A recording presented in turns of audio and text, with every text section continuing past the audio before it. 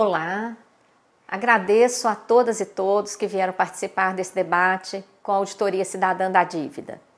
Nessa videoaula de hoje, nós vamos falar da corrupção e o sistema da dívida. Por que é que a gente vai começar por esse tema? Porque estamos vivendo um momento em que a grande mídia tenta passar para a população que a corrupção é a responsável pelos problemas desse país. De acordo com a nossa compreensão, a corrupção está inserida, ela, ela está imbricada no modelo econômico e no sistema da dívida. É isso que a gente vai debater hoje. Inicialmente, eu quero mostrar esse diagrama. Esse diagrama, vocês percebem, corresponde a um conjunto de engrenagens articuladas, combinadas, Bem no centro está o sistema da dívida, representado por esse gráfico do orçamento recortado sob a forma de uma engrenagem, em que você pode perceber que quase a metade é destinada ao sistema da dívida. Isso acontece todo ano, sacrificando todas as demais áreas sociais. E poucos brasileiros sabem disso.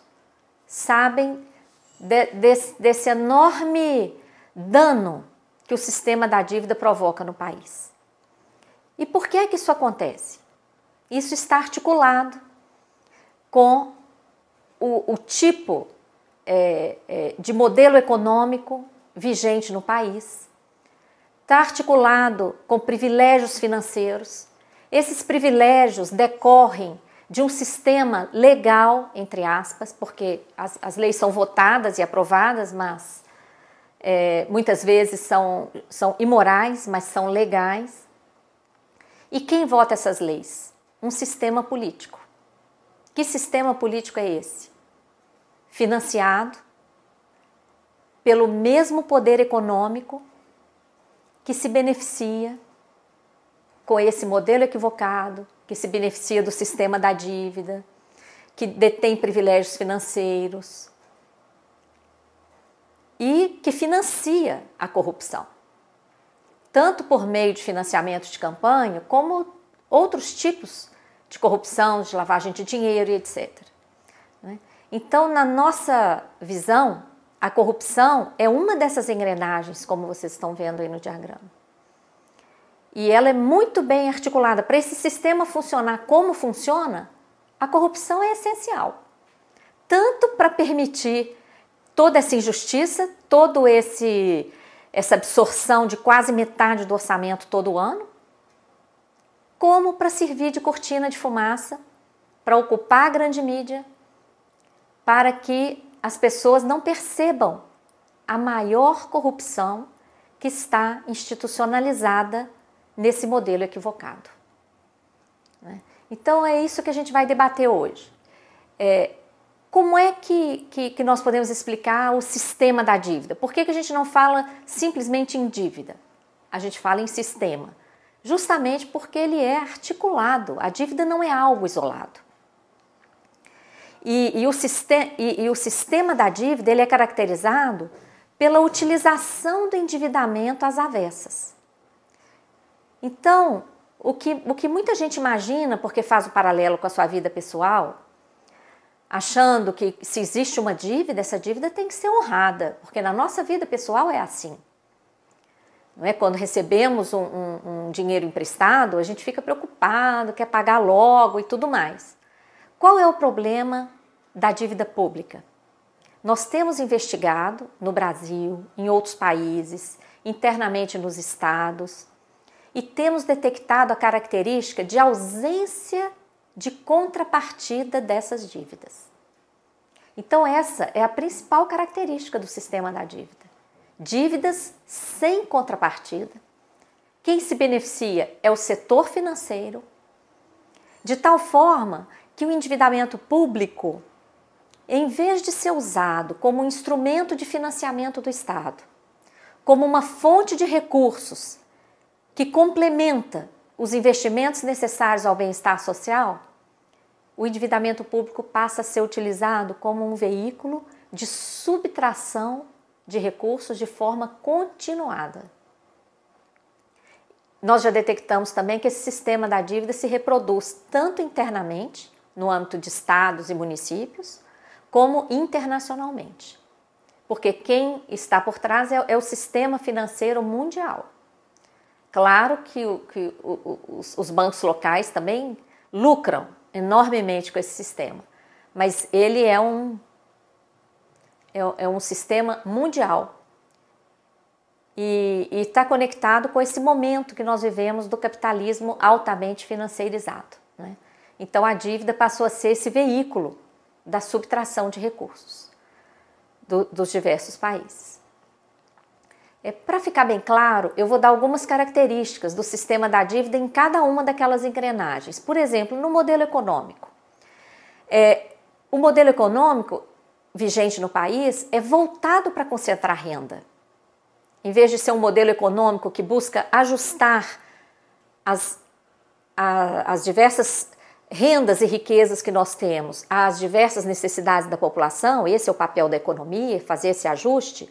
Em vez disso, o modelo econômico vigente ele concentra a renda.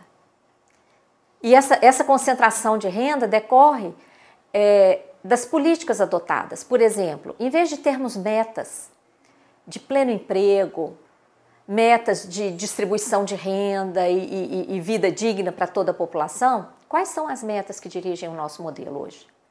É a meta de superávit, que significa corte de gastos sociais, aumento de impostos, aumento de, de, de sacrifícios em todas as áreas sociais. Para quê? Para que sobrem recursos para pagar a dívida. E a meta de inflação, de uma forma equivocada, que não combate o tipo de inflação que nós temos. É evidente que todos nós queremos que a inflação esteja devidamente controlada. Só que eu convido vocês a uma reflexão.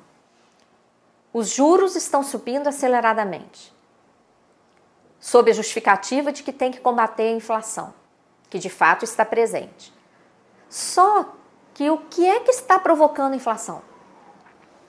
o aumento elevadíssimo da energia, dos combustíveis, da água, dos transportes, dos alimentos.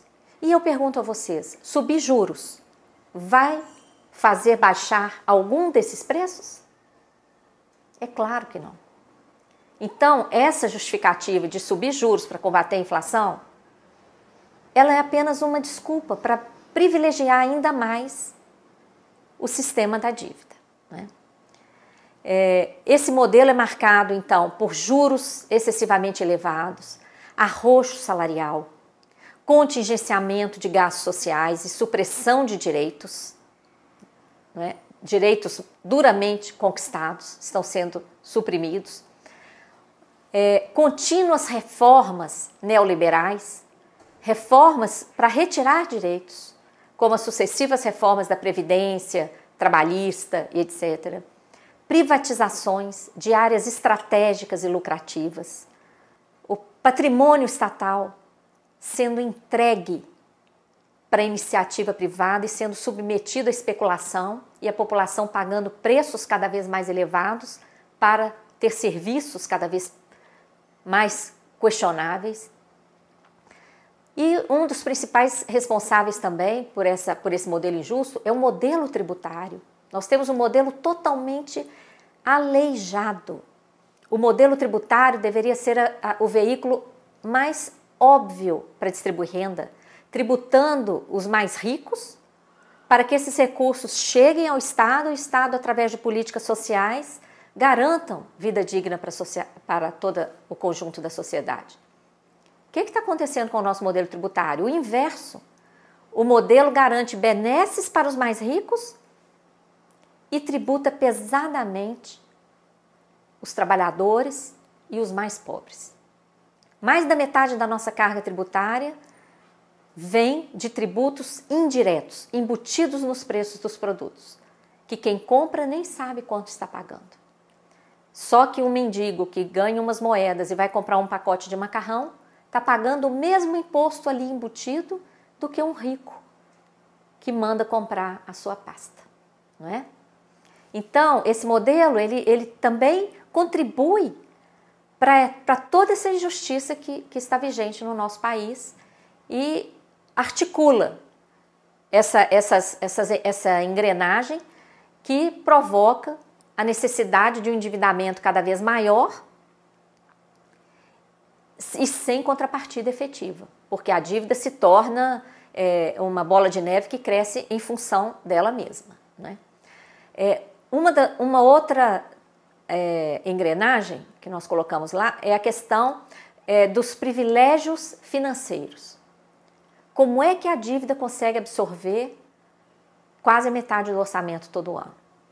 Além das fontes tributárias, não é, da parte que, que é, é, é subtraída por meio do superávit, que vem de fontes tributárias, toda a arrecadação proveniente dos estados e municípios por meio das dívidas que esses entes federados pagam para a União, por lei, obrigatoriamente é destinado ao pagamento da dívida. Da mesma forma, todo o lucro das estatais, da parte pública das estatais, é? é destinado, por lei, ao pagamento da dívida. O lucro do Banco Central, quando ele acontece, por lei, vai para a dívida. E quando dá prejuízo, o Tesouro Nacional cobre o prejuízo e se os recursos existentes no Tesouro não são suficientes, o Tesouro emite mais dívida para cobrir o prejuízo do Banco Central. É, as, as receitas de privatizações são destinadas ao pagamento da dívida. É, a remuneração da conta única do Tesouro e principalmente a emissão de novos títulos. A dívida virou uma bola de, de neve que se alimenta dela mesma.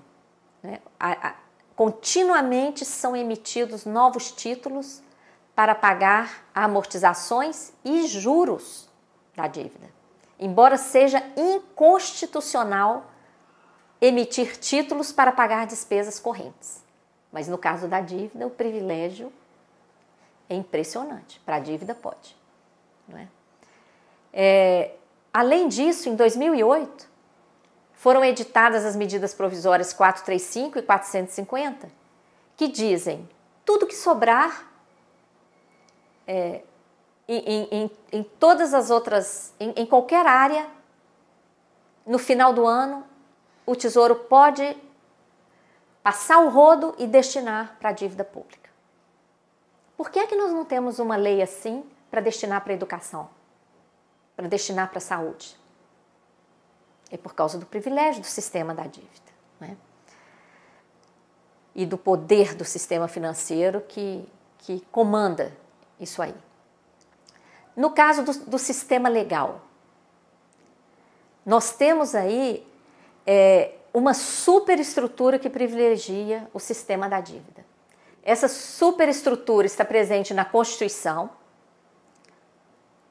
e, e, e, aí nós temos que fazer um parêntese, porque tem uma denúncia muito grave de que o artigo da Constituição que mais privilegia a dívida, o artigo 166, o, o, o parágrafo 3, inciso 2, letra B, do artigo 166, esse dispositivo não chegou a ser votado pelos constituintes. Ele foi embutido como um, um, uma espécie de um contrabando, como comprovam os professores Adriano Benayon e Rezende, que na época eram assessores parlamentares, eram respectivamente assessor parlamentar e professor da UNB, que comprovaram, através do artigo Anatomia de uma Fraude à Constituição, como foi inserido esse privilégio da dívida na nossa Carta Magna. Esse privilégio vem, aparece também na Lei de Diretrizes Orçamentárias, que é uma lei meramente de diretrizes, e nela vem incluído o privilégio de atualização monetária para a dívida. Não há uma previsão legal de atualização monetária automática cumulativa para a dívida, mas a LDO inclui lá um, um parâmetro, um limite, e isso tem servido para justificar essa atualização que tem sido feita na dívida.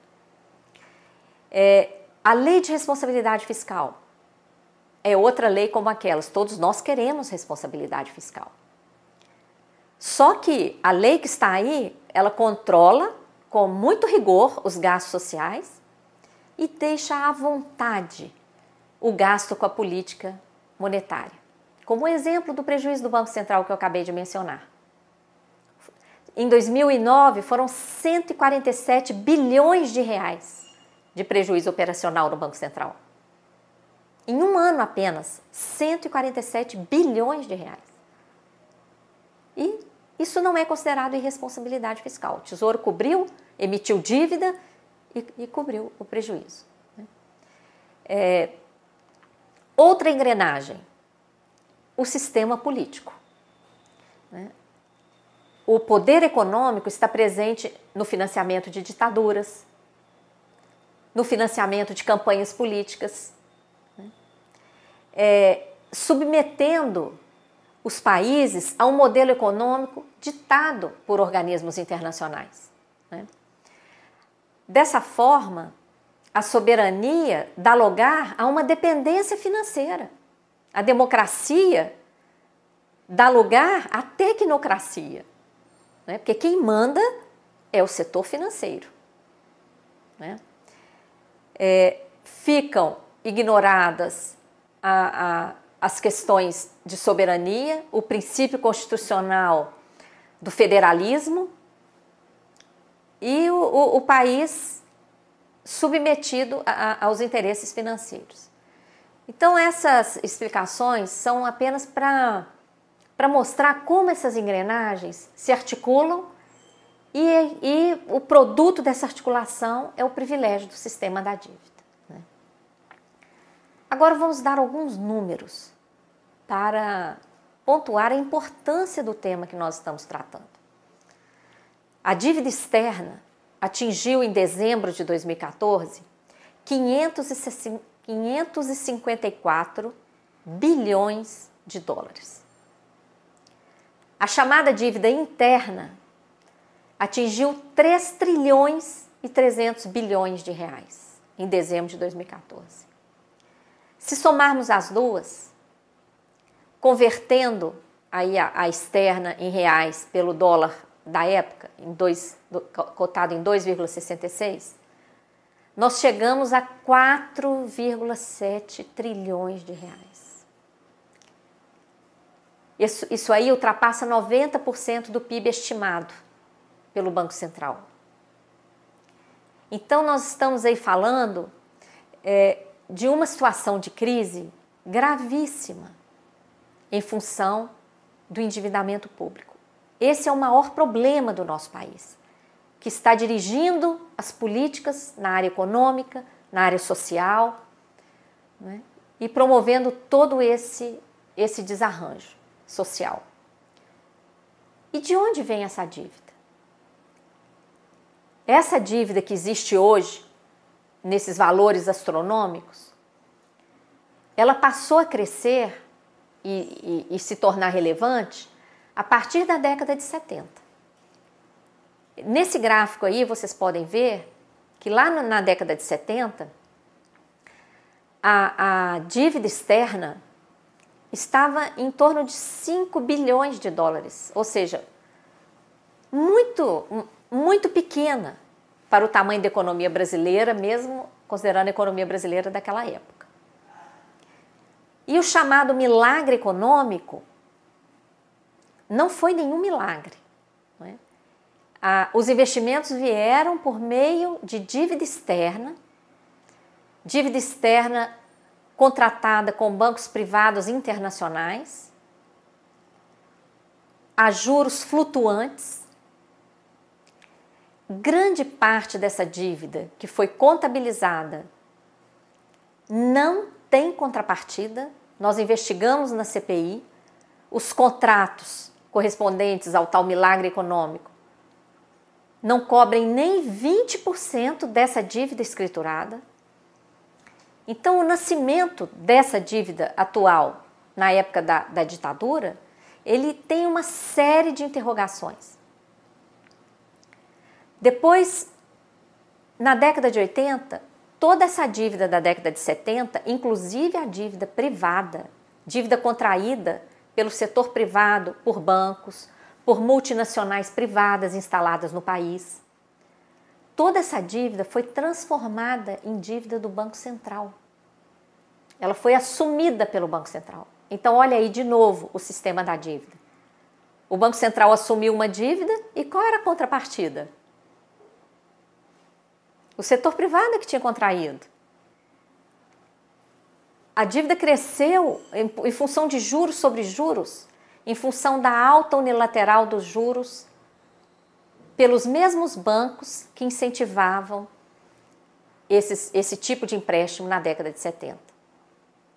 Nesse período, é importante depois vocês assistirem o vídeo Confissões de um Assassino Econômico, que mostra como eram incentivados os empréstimos por meio de bancos e em condições altamente é, lesivas para o país.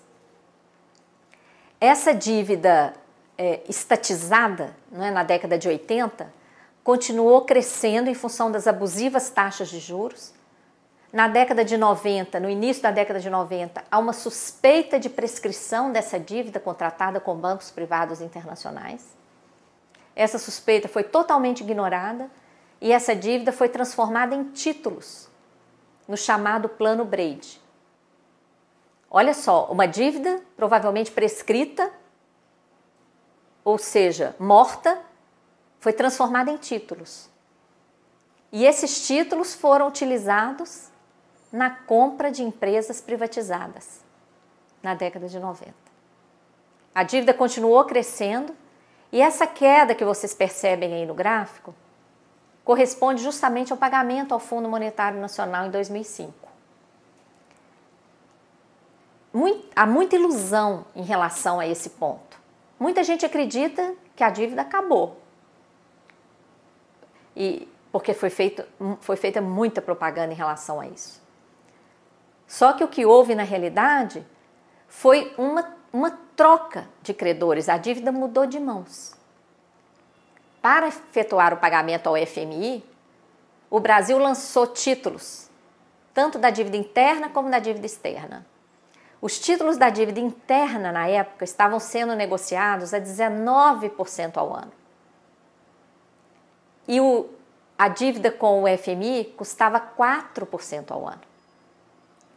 Então, veja bem, a dívida trocou de mãos. Deixamos de dever ao FMI e passamos a dever aos bancos privados que compram os títulos da dívida interna.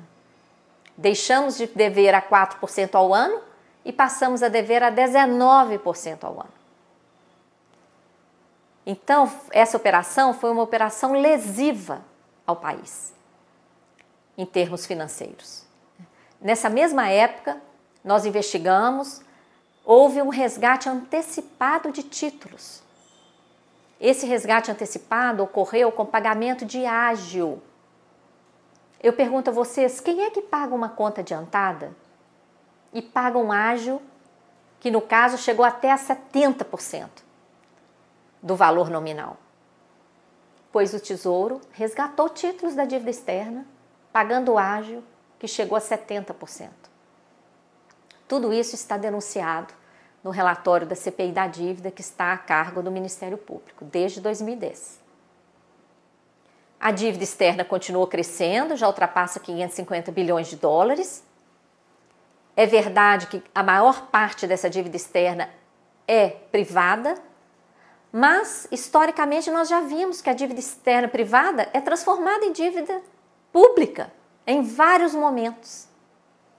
Por que isso acontece? Por causa da responsabilidade do governo federal com os contratos é, feitos no exterior, ainda que pelo setor privado.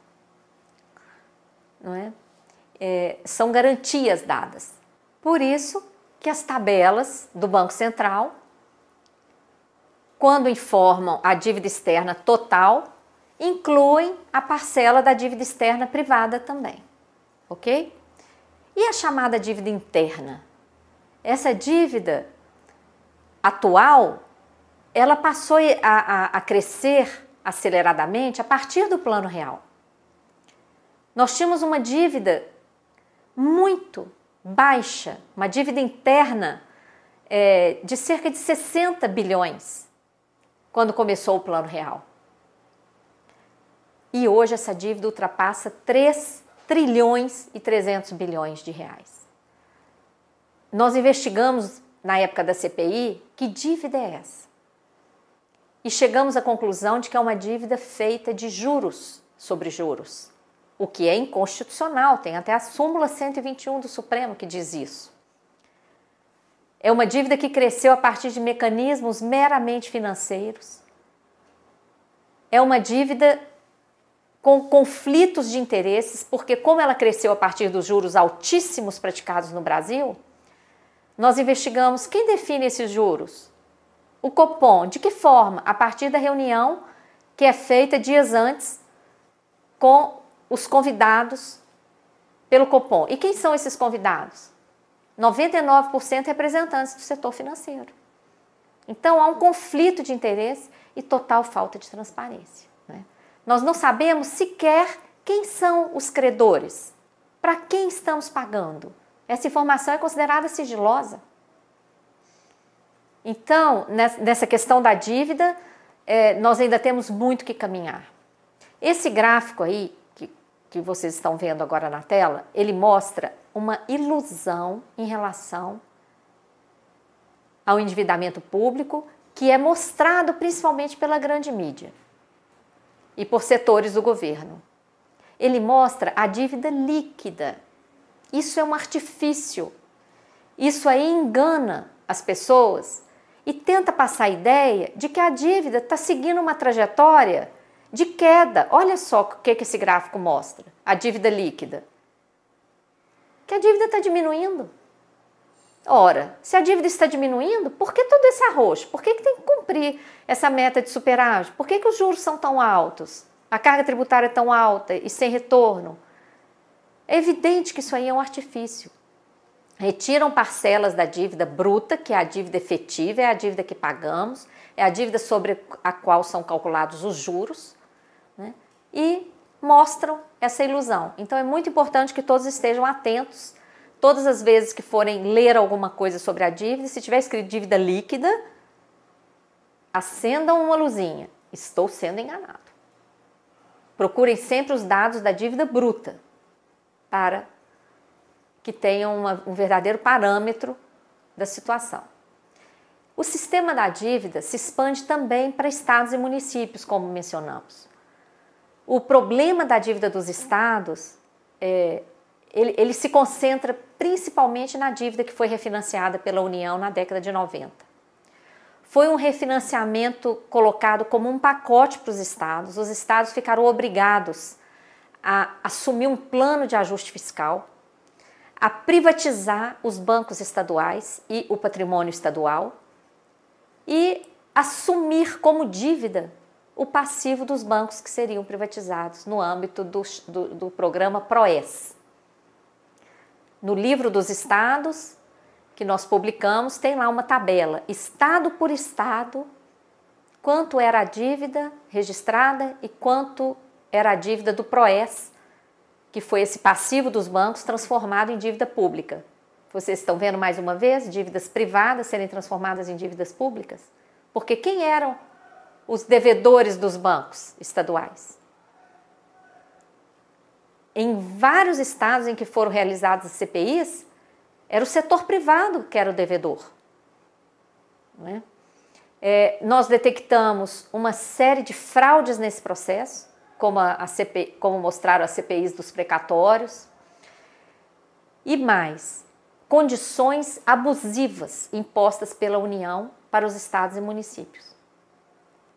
Chegou a um ponto que o próprio governo federal, em 2013, encaminhou projeto de lei 238 para a Câmara, depois esse projeto teve o número 99 no Senado, para fazer uma revisão nessas, nas condições de juros impostas pela União por ocasião desse refinanciamento iniciado lá no final da década de 90. Mas o que é que aconteceu com esses projetos enviados pelo governo em 2013? Eles foram votados, transformados na Lei Complementar 148 em novembro de 2014, e depois fomos surpreendidos em 24 de março com uma grande surpresa, quando a presidente Dilma, já reeleita, disse que não iria cumprir a Lei 148 por falta de condições, porque tem que cumprir o plano de ajuste fiscal. Então, essa é a regra do sistema da dívida. Até uma lei votada, aprovada no Congresso, sancionada, como ela representa uma redução, ainda que mínima, nas obrigações de dívidas dos estados, ela não vai ser cumprida pelo governo federal. É claro que o Congresso está reagindo, está tentando aprovar é, uma lei que obrigue o governo federal a cumprir, e nós vamos ter que acompanhar o desenrolar desses fatos ao longo do ano. A consequência é sempre o tremendo sacrifício social. O que nós queremos saber é que dívida é essa que está impedindo a vida digna e a realização dos direitos humanos no nosso país. As nossas perguntas são muito simples: de onde veio essa dívida? Quem contraiu? Quanto realmente tomamos emprestado? Quanto já pagamos? Quem se beneficiou desse processo? Quem é responsável? Entendemos que só uma auditoria irá responder. Agora eu mostro para vocês o gráfico do Orçamento Geral da União executado em 2014. Olha só o privilégio da dívida. Ano passado, a dívida absorveu 45,11% dos recursos, 978 bilhões de reais. Enquanto isso, a saúde recebeu menos de 4%. A educação também, menos de 4%. Todas as áreas, vocês podem observar com calma. Assistência, transportes, saneamento, habitação. habitação aparece com zero. Porque o programa Minha Casa Minha Vida, o dinheiro não sai do orçamento, é apenas uma viabilização de endividamento por meio da Caixa Econômica Federal e benesses tributários para as construtoras que participam do programa. Então, o resultado, não é? esse orçamento mostra claramente o resultado daquelas engrenagens todas que nós mostramos no início, da atuação do sistema da dívida para possibilitar todo esse privilégio do endividamento público aqui no Brasil. O impacto no orçamento para 2015 também será gravíssimo, o orçamento proposto pelo governo indica a reserva de 1 trilhão 356 bilhões para a dívida pública em 2015, ou 47% do orçamento federal. Esse valor representa 13 vezes o que vai ser destinado para a saúde, 13 vezes o que vai ser destinado para a educação, ou 50, 54 vezes o que vai ser destinado para o, o para transporte. Dessa forma, a conjuntura no país em 2015, marcada por aumento de tarifas, elevação de juros, elevação de inflação, aumento de tributos, pesado ajuste fiscal, com corte de gastos, cortes de direitos, inclusive direitos trabalhistas. Né? Indicação de privatizações, já se anunciou que, que está em estudo colocar a, a, a ações da Caixa no mercado. Já se fala em privatização da Petrobras. E o resultado disso? O PIB com crescimento nulo ou negativo? A questão que se quer colocar é: essa conjuntura é pontual? Ou ela decorre de toda essa estru questão estrutural, de um modelo econômico equivocado que vem sendo praticado há décadas? o resultado está aí: o desenvolvimento socioeconômico travado, com a dominação do setor financeiro,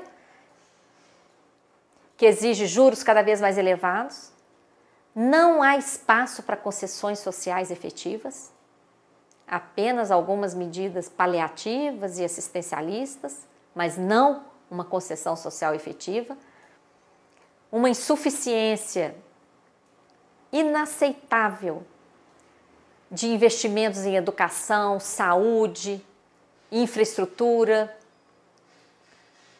o acirramento da concentração da renda e da riqueza, impedimento de uma efetiva reforma agrária, que, e nós sabemos que é o pequeno agricultor que produz o alimento que chega às nossas mesas, processo de desindustrialização, desemprego, recessão e, lógico, aumento da violência.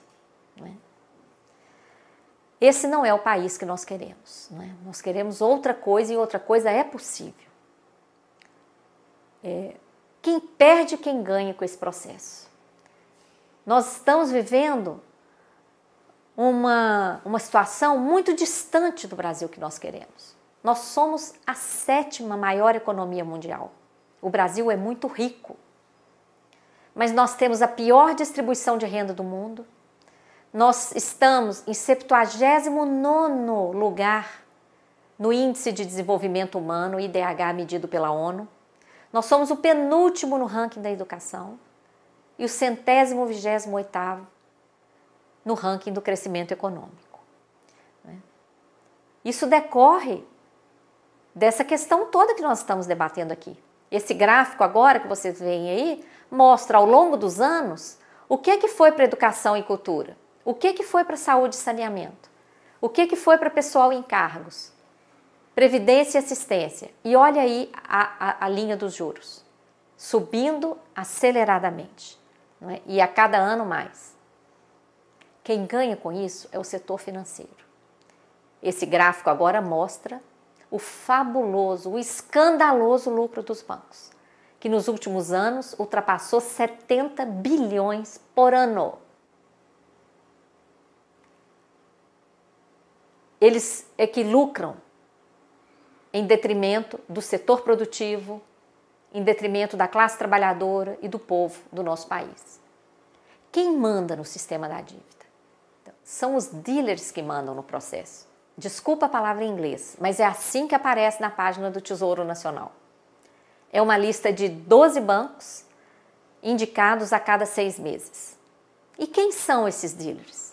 Vejam aí na tela quantos nomes de bancos estrangeiros: Citibank, JP Morgan, HSBC, Barclay, Deutsche Bank. Então, a chamada dívida interna, ela não é tão interna assim. Ela é comprada por bancos estrangeiros que operam aqui no Brasil. E mais, são eles é que mandam. Eles que se inscrevem para o leilão feito pelo, pelo Banco Central com os títulos emitidos pelo Tesouro.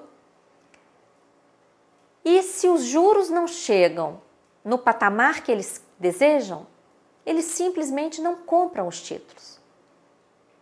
Colocam o Tesouro e o Banco Central de joelhos e as taxas de juros têm que chegar onde eles querem.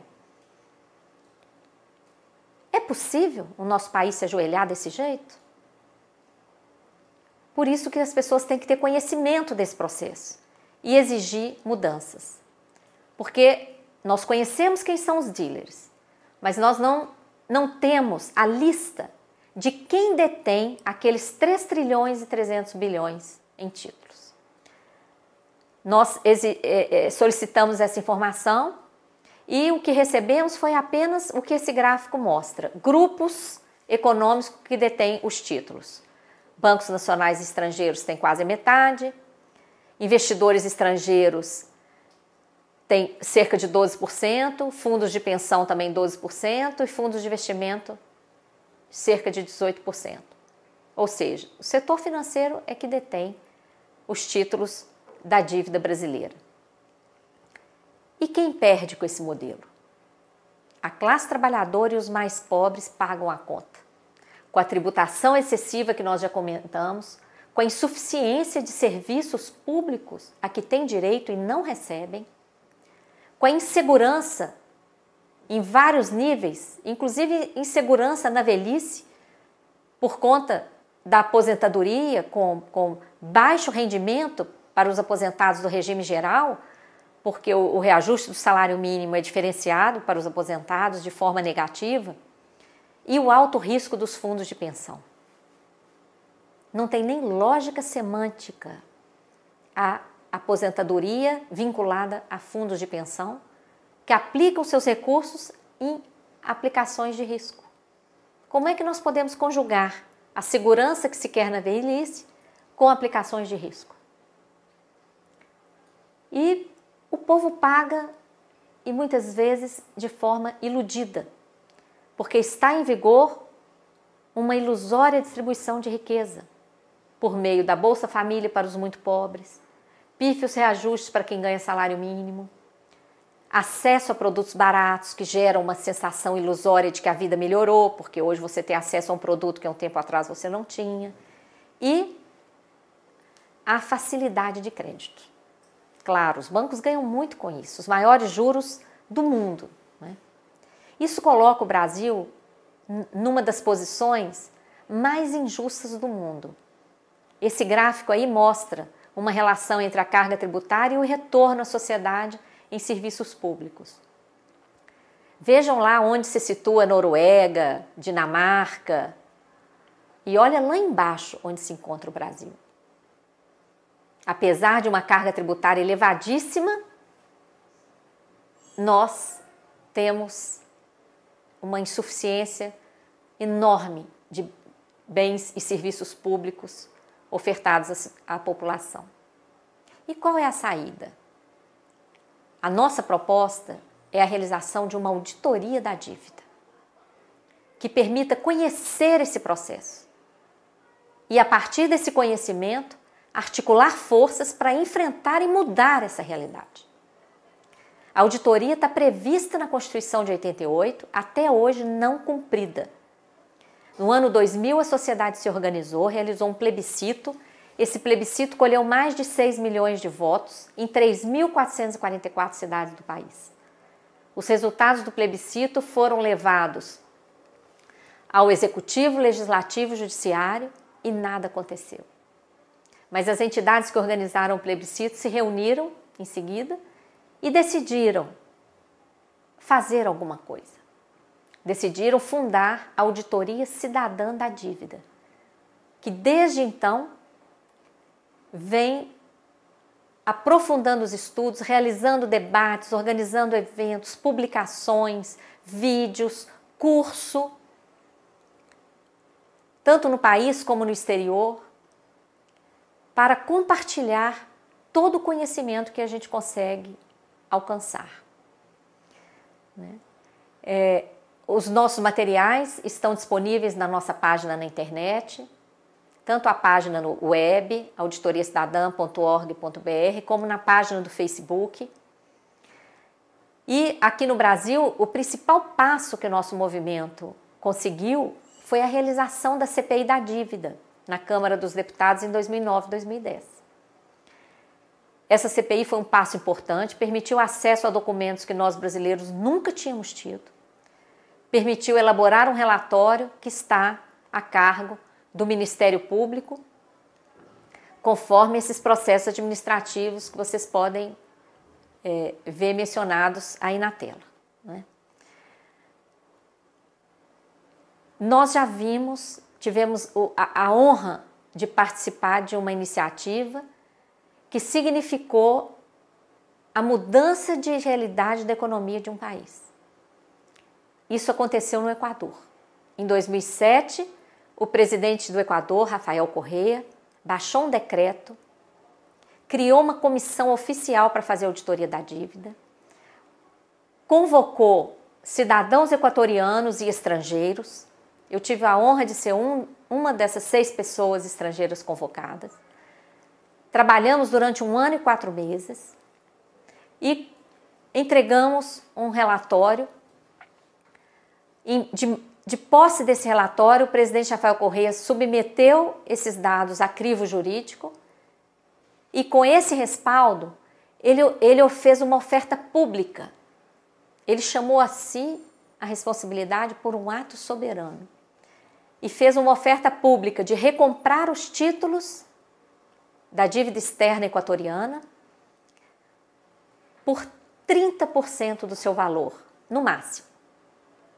O nosso relatório indicava que 100% estava contaminado e, e, que o Equador já, já tinha, inclusive, pago muito mais do que devia, principalmente em relação à dívida com bancos privados internacionais, que foi a dívida que nós investigamos. Mas o presidente fez um, um cálculo da corresponsabilidade dos equatorianos que participaram do processo, um cálculo político, e ofertou esses 30% para zerar esse tipo de dívida com bancos privados internacionais. Qual foi a grande surpresa? 95% dos detentores dos títulos entregaram os títulos, aceitaram os 30% e ainda assinaram um termo de que nunca iriam reclamar isso junto ao país. Isso significou a anulação de 70% da dívida externa em títulos do Equador e mudou a realidade do país. Vejam esse último gráfico que mostra de 2000 a 2011 a trajetória dos gastos sociais, que estão aí mostrados em, em azul, e os gastos com a dívida mostrados em vermelho. Olha só a trajetória no início da década. Os gastos com a dívida correspondiam ao triplo dos gastos sociais. Essa realidade mudou a partir de 2007. Só do presidente iniciar os trabalhos da comissão nesse ano, já houve uma queda no volume de recursos destinados para a dívida. Em 2008, nós entregamos o relatório no final do ano e logo em seguida venceria um cupom de juros. O presidente suspendeu esse pagamento dos juros e destinou os recursos integralmente à saúde e educação. Olha a mudança. Pela primeira vez na história, os gastos sociais superaram os gastos com a dívida. Em 2009, quando ele consegue anular 70% da dívida externa em títulos, que era a parte mais cara, mais onerosa da dívida, olha o comportamento dos gastos. Houve uma inversão. Os gastos sociais foram mais que o triplo dos gastos com a dívida e seguiu com essa trajetória, os gastos sociais superando enormemente os gastos com a dívida. Isso aí já possibilitou, nesse pouco espaço de tempo, a erradicação do analfabetismo, a melhoria salarial, a recuperação do sistema de saúde pública, que já não existia no Equador, foi totalmente recuperada, e investimentos em infraestrutura, transportes, etc. Nós então temos que estabelecer, para concluir, estratégias de ação para enfrentar esse processo. E a estratégia que nós queremos colocar é uma estratégia a partir do conhecimento dessa realidade, a fim de articularmos uma mobilização social consciente, partindo para ação concretas. Queremos articular núcleos da auditoria cidadã da dívida, já temos vários funcionando em diversos estados. Queremos fortalecer esses núcleos e criar novos, para que a sociedade tenha acesso a essas informações e aprofunde cada vez mais esse conhecimento, acompanhando também as investigações do, Ministério Público, exigindo a revisão desse, dessa política monetária e fiscal, desse modelo econômico totalmente equivocado para que possamos atender os direitos humanos, garantir transparência e acesso à verdade. Para ajudar nesse processo, nós temos produzido diversas publicações didáticas para derrubar o mito de que enfrentar esse tema é coisa só para especialistas. Mentira! Qualquer pessoa de qualquer formação é capaz de compreender o dano que o sistema da dívida está provocando no país. Nossas publicações estão disponíveis na página da editora www.novaeditora.com.br a preços praticamente preço de custo. Né? É, nós esperamos que, que todos venham a, a participar dessa luta, a participar dos núcleos, a ajudar a analisar os documentos que nós estamos conseguindo acessar nos diversos estados para que a gente contribua, fortaleça a cidadania e contribua para mudar essa realidade inaceitável que está imperando no nosso país. Né? contamos com todos vocês nessa luta e deixamos um, uma frase do saudoso Barbosa Lima Sobrinho, um homem que nunca chegou a se aposentar, morreu com 103 anos, ainda trabalhando, e durante o plebiscito da dívida, ele ajudando a, mobilizar naquele processo, é, alguém perguntou para ele, doutor Barbosa, mas o senhor não se cansa de falar dessa questão da dívida? E ele veio com essa frase: quando se trava uma luta, não se deve ter a preocupação com o resultado, mas se é algo pelo qual vale a pena lutar. Sou feliz por achar que cumpri o meu dever. Poucos dias depois, ele faleceu e essa virou a, a frase inspiradora que ele, que ele deixa é, de herança para nós. Né? Vamos então nos inspirar nesse, nesse, nesse grande homem que viveu aqui no Brasil e que enxergou o, o mal que esse sistema da dívida faz para o nosso país. Assim encerramos essa videoaula.